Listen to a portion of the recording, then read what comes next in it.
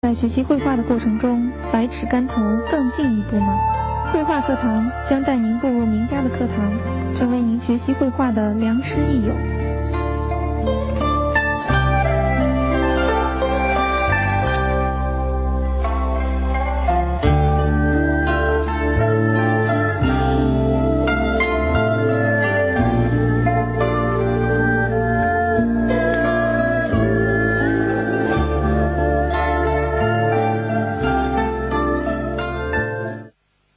观众朋友们，大家好。我们这堂课呀，先从聊天说起。在人与人之间的这个关系上啊，有的时候就谈，就说某某人太主观啊，他有时候自己的意志强加于人，是吧？说这种人呐，太不合群儿，啊。我说这种人呐，有他的优点。徐湛，中国花鸟画研究院常务副院长。中国美协会员，北京市西城区美协主席，曾师从于李苦禅、郭卫渠和欧阳中石等大师，专攻写意花鸟画。怎么呢？他是天才。你画画的时候可需要这样。呃，人与人交往，这个我不同意这样，啊，还是要合群的，啊，不合群您全用在画上。这个牡丹花我们讲了两次了，讲以后呢。有些同学看了很多的画儿，啊，一看呢就是一个画家一个样儿，是吧？他有不同的画法，也就是说，大自然当中的这个花儿是同一个花儿，可是谁看了以后，由于他理解认识不同，他在心里面他和他的修养啊，他和他的一些呃画法呀结合在一起，所以一下变形了，走样了，这是好的。如果不走样，这是傻瓜照相机，一拍就是这个样子。大自然什么样，你还是什么样，这不好啊。我们呢，把这个大自然当中的形象叫第一形象，这是有目共睹的一个形象。可是呢，我们把艺术家心里面的形象和你纸上所表达的这种形象叫第二形象。这个形象是上升为艺术的一种形象啊。在大自然当中啊，有时候偶然有。风一刮，哎，有动势，飘起来了，动起来了。好，抓住这一刹那，把它留住，留在纸上，啊。所以我们在观察大自然和写生的时候，应该啊多抓这些，就说呃激动人心的，啊呃能够激发人的灵感的，觉得奇妙的东西。这样的话，您的画儿您才能够见精神。所以我们要追求啊奇特。今天呢，我再给大家画一画，大家看一看啊。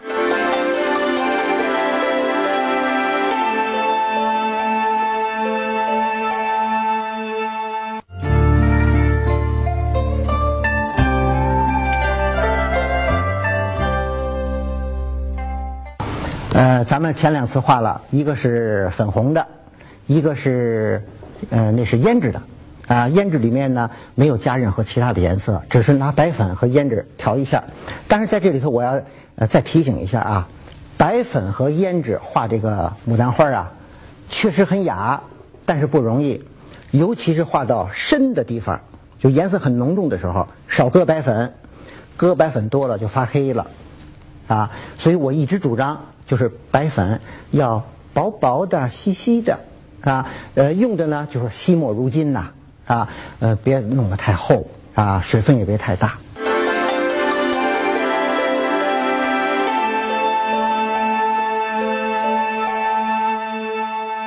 啊，今天咱们用的颜色啊稍有变化。我现在先拿的是朱标，还有曙红、胭脂。我说一下这个朱标色，朱标、朱砂。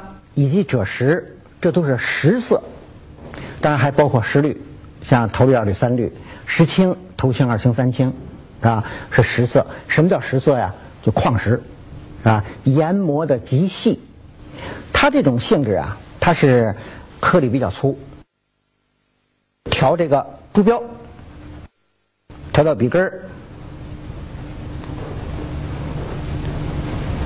压下去了啊，笔根儿。压下去以后，它笔根儿就吃了颜色了，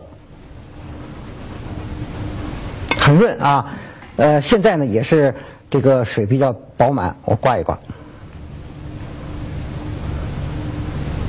好，我用它去调曙红，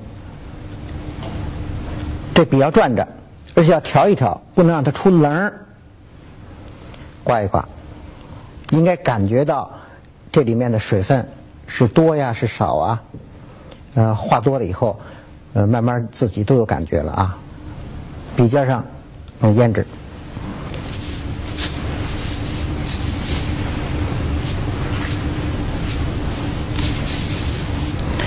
您看这个笔根儿啊，这颜色有点朱标色儿啊，然后笔肚呢是属红，尖儿上是胭脂啊，这样呢形成一个自然的一个过渡。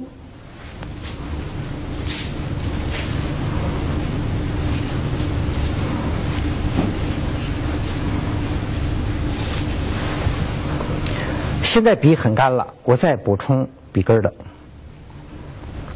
转着啊。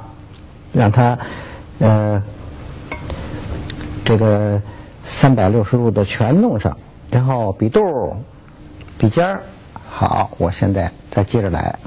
您看这个交界之处，交界之处，由于有了胭脂，这儿啊有了胭脂，所以它能够把它压住，等于这是在切瓣儿。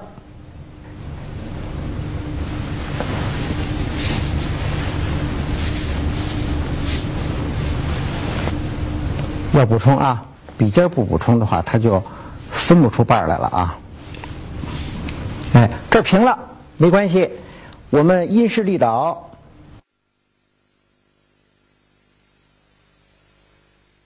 我在这破。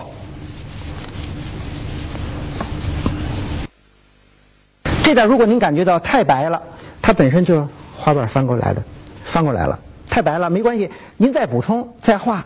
绝对不能拿尖儿去补，啊，这就像小脚丫儿一样，啊，我拿脚后跟去补它，啊，拿脚后跟去补一补，轻轻的擦一擦，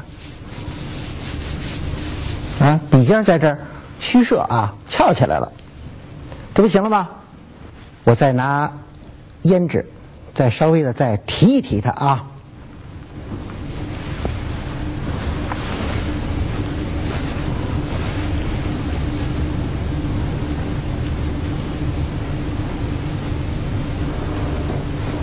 我不是说过吗？明暗交界线处啊，要让它啊显得呃对比更强烈一些。四周围是参差的，有大缺口，有各种不同形式的缺口啊，这就对了。要调白粉，特别稀，大家看啊，水流如注，调到笔根儿，然后刮。调曙红，少调一点调着调着，我就感觉啊，这个笔根的水在往下走，这应该有个感觉啊。哎，刮一刮，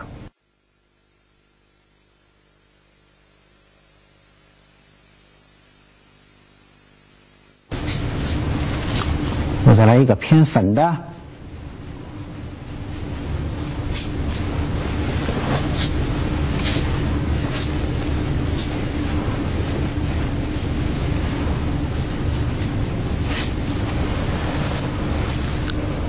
白粉，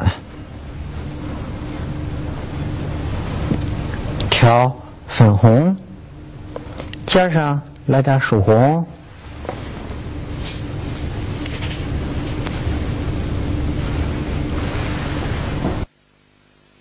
两个是呃重叠在一起，后面的被前面的挡住了一部分。这个花呢，让它先干一干。我拿起了大兰竹，挑一点墨，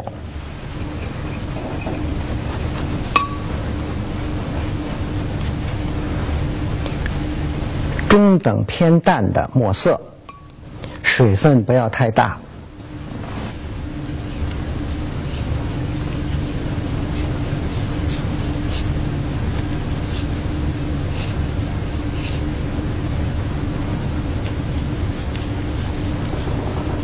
写出来的啊，这行笔要跳跃，这个咱们还没讲呢。等呃，以后咱们逐渐再安排啊。今天先用一下啊，大家先感受一下，一看知道这是水仙啊。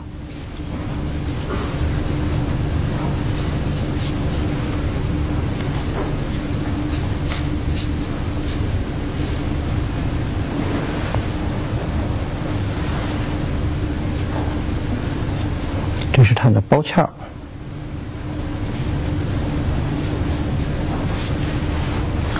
拿最浓的墨画复花冠，这里面有花蕊，最浓的啊。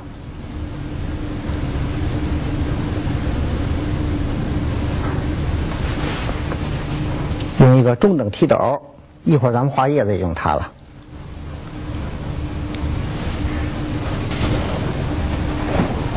先调中等墨色，我是由淡墨调起来的啊，逐渐逐渐调，好，刮一刮，尖上来点儿浓的，行，看好了整体构图啊，靠下，压下去，侧锋走。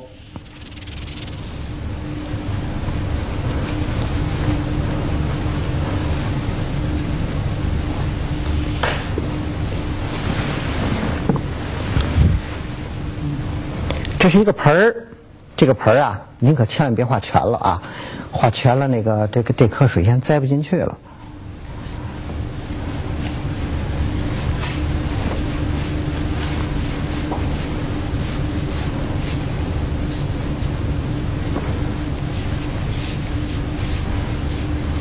这是线啊。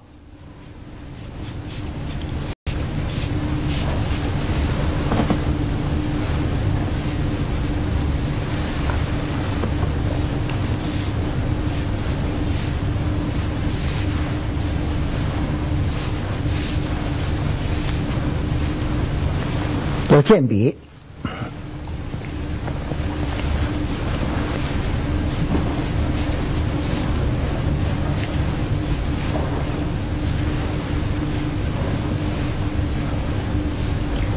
两组不同的组要搭在一起才行。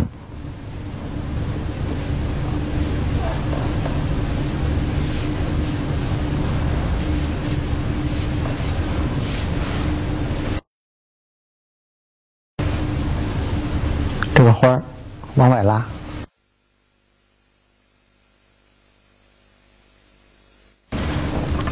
白粉。刮一刮啊，曙红。调成粉，没有白粉这个是不成啊。粉，再来点曙红。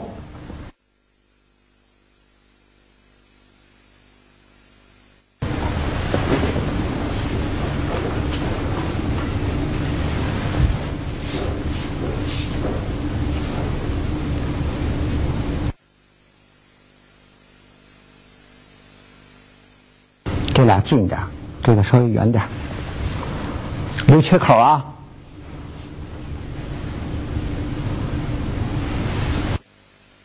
来点胭脂，我现在啊，我想这点啊，我得把这个明暗交界线给提出来，切呀啊，跟刀子似的得切出来。这样的话，那个花心儿好出来。我们用另外一支笔啊，胭脂加墨，这个墨可以多一点，甚至于就用纯墨了。前的这个花啊太深了。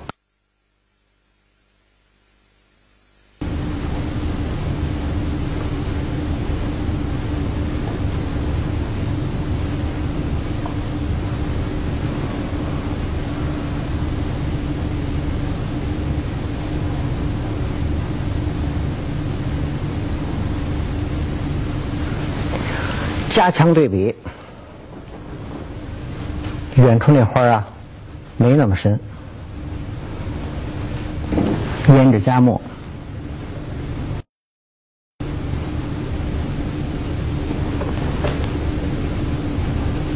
打个底儿啊，有这个底儿以后，如果我们再画，呃，黄色的花蕊，那很清楚。刚才这个盆儿颜色挺深的，那我们啊别用太深的了啊。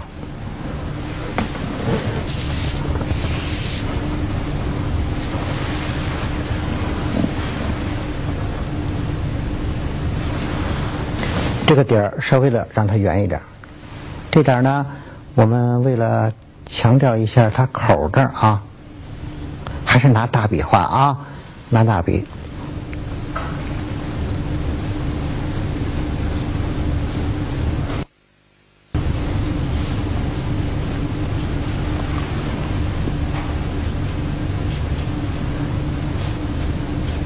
走后头啊。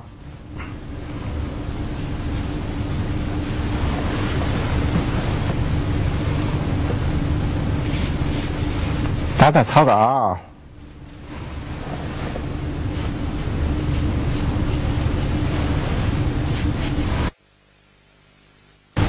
加水。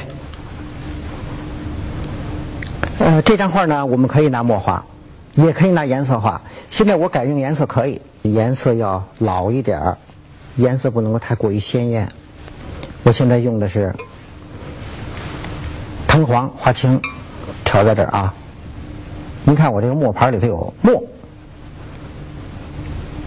别弄太干净的，太漂亮不好。再来点赭石，赭石搁这儿吧，看得更清楚一些。老绿啊，里头有墨。我现在啊，笔尖儿蘸点花青。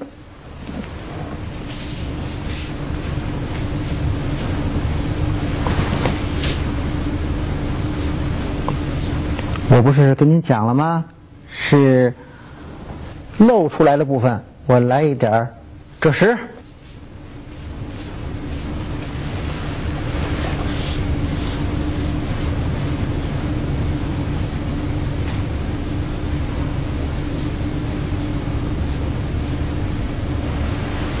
加点水。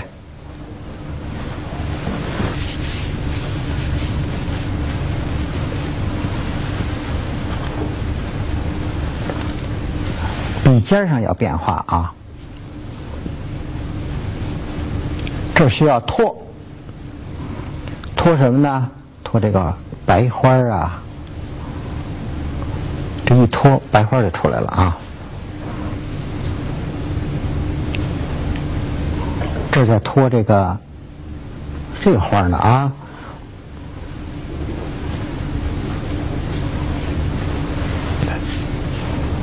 加一点。嗯好，凡是用颜色画的叶子，可以早一点勾筋，这是规律。为什么？因为颜色颗粒粗，不像墨，墨有时候咱们需要等一等，这个不用等，画完就勾。你要是晚了还不行呢，拿墨去勾啊。你看这一点都不阴呐啊，深色的叶子，我拿墨勾了。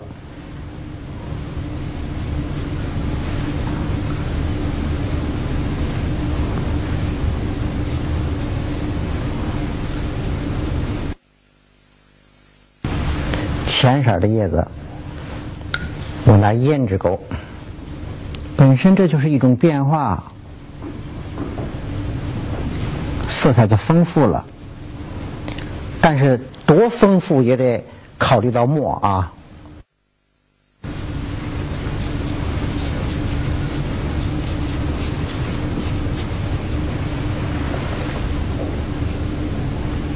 往上翻。挤，最后拿墨尖上。点啊，挤一挤啊，挤一挤，关键地方稍微一挤，把这花给推出来了。啊，这是这样装着呢。啊。现在呢是这边看看干没干，这一定要干了以后再染颜色。还没干，没干没关系，咱们再做点别的事儿。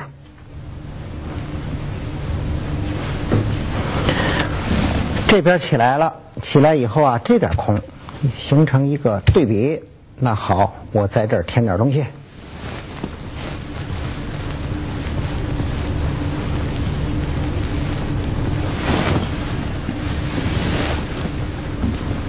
大家一看就知道哦，鞭炮，鞭炮拿这个浓墨去勾勾线啊，中锋。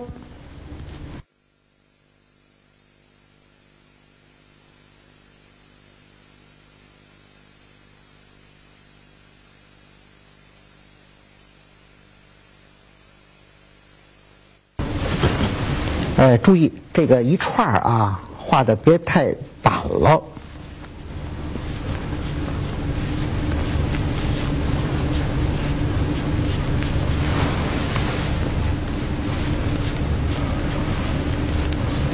这口儿这儿再多一个道儿，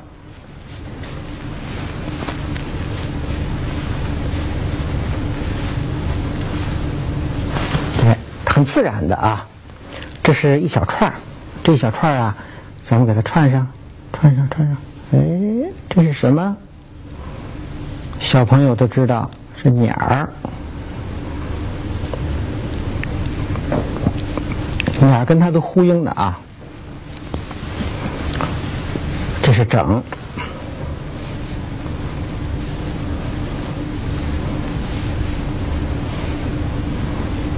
这是零散，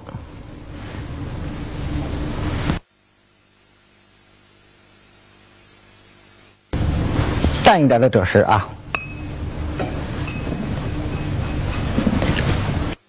先把这个叶子的尖儿稍微的。到这儿，以后有机会再给同学们讲水仙的画法。下面呢，用花青，很淡淡的花青，把这个花儿啊给它反衬一下。这花青很干净啊，这个花儿呢显得很透亮。反衬一下，这花就白了。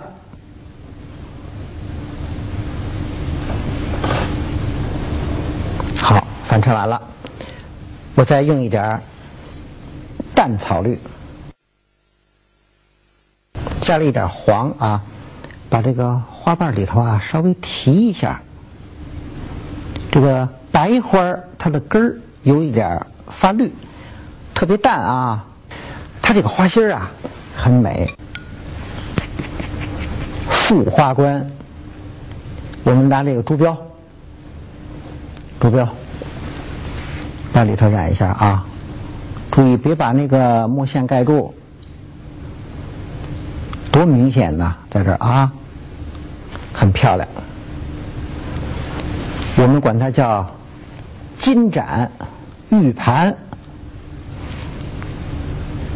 这是那个金盏，盏是什么？酒杯叫盏。草绿，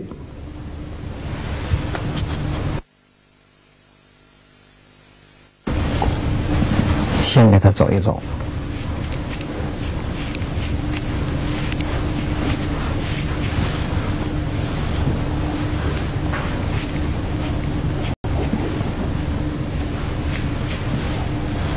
草绿先打个底儿。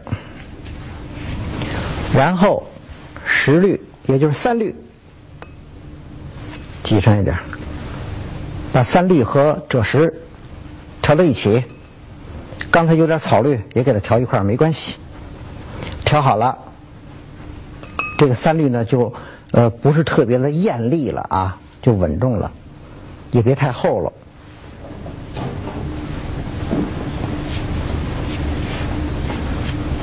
别挡墨线啊。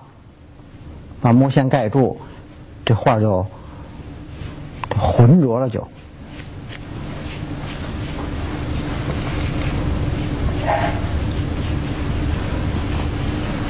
哎，这个颜色呀是两遍啊，呃，下面有一个草绿，打底儿，然后再来三绿，这个绿啊特别沉稳，特别好啊。尖上呢略有一点赭石，呃，寻求一点变化。这盆里头啊，我们给它点点点儿。您说是土，还是露出来的水仙头那点儿有那个那个残的东西啊，都可以。黄颜色画花蕊必须要加白。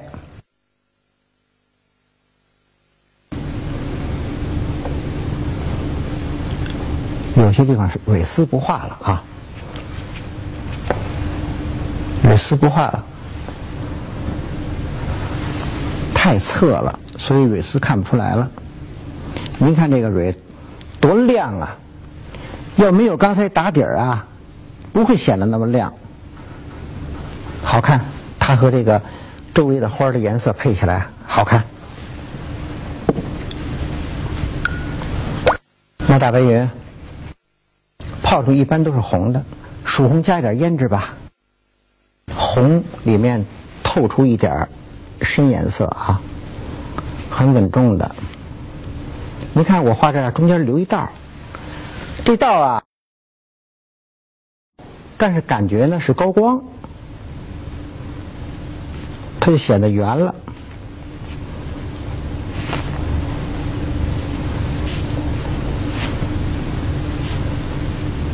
哎，两笔中间出一个缝儿，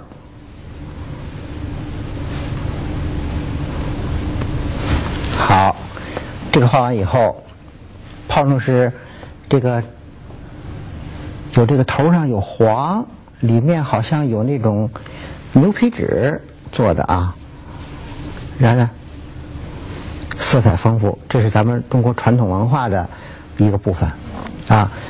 这张画啊，构图这点出去了。从这儿入入进来以后，这两个焊接在一起，上来，然后气势下去，这点和它一承接，两个形成呼应，就好像上次我们画的小鸡和牡丹花形成呼应一样。这是呢，炮筒跟它形成呼应。哎，这张画啊，我们把这个牡丹花画在瓶子里了。我一说这个，理解了。我们提款啊。这款就有了。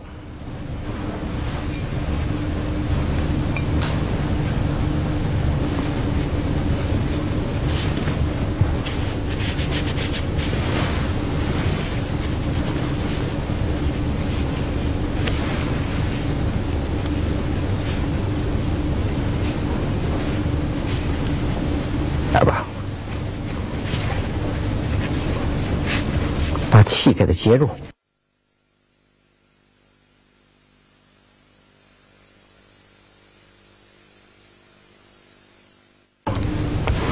把这角堵住。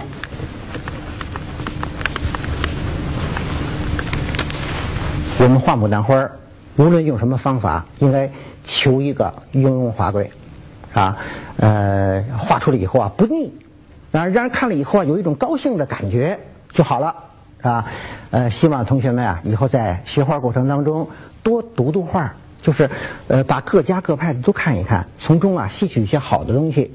如果说您能够。呃，有主见，啊，呃，有跟别人想法不同的这个独到之处，这是可贵的，啊，抓住它，不要就是人家画什么我也画什么，人家怎么画我也怎么画，人云亦云，这样好，这样没有一天就说能够画出来，啊，那个不会成功的，啊，呃，别出心裁，标新立异，非常可贵。